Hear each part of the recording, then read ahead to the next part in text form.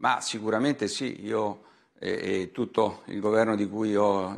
l'onore e il privilegio di far parte non ha mai messo eh, in discussione l'importanza dei vaccini per la battaglia contro il Covid-19 e quindi anche ora, oggi, sosteniamo pienamente la vaccinazione per le persone anziane, per i fragili, per i più deboli contro l'influenza e anche la quarta dose del Covid.